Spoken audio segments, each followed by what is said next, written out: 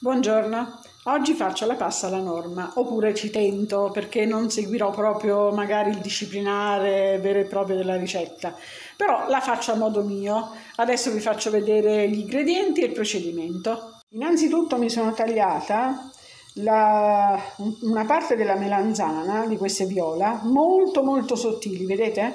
E le friggerò in olio eh, di semi devono essere belle croccanti e sottili. Poi mi sono tagliata anche una parte di melanzana a dadini e friggerò anche queste. Nel frattempo che le melanzane friggono, stanno friggendo, mi preparo un bel eh, sughetto fatto con i pomodorini freschi. Anche, anche se uso la padella un poco graffiata, vabbè, ho messo sulla carta assorbente le melanzane che ho fritto, eh, quelle sottili sottili perché devono essere ben, ben, ben asciutte. Nel frattempo sto friggendo queste, quelle tagliate a pezzettini e mi sto facendo anche il sughetto. Adesso metterò un po' di sale sui pomodori e un po' di origano. Allora, ho messo sulla carta Scotex anche queste melanzane tagliate a pezzetti e nel frattempo il sughetto sta andando avanti, come vi ho detto ho messo sale e origano.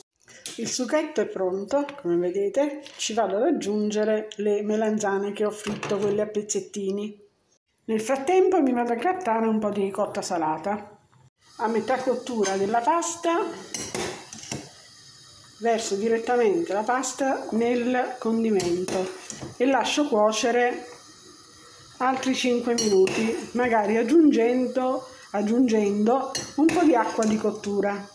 In questo modo la pasta assorbe tutto il sapore del condimento. Adesso vado a mettere due cucchiai di ricotta salata in modo che si formi una bella cremina. Vedete? Adesso lascio sciogliere per bene la ricotta salata e vado ad aggiungere a questo punto una parte delle melanzane a fettine che, ero, che avevo preparato prima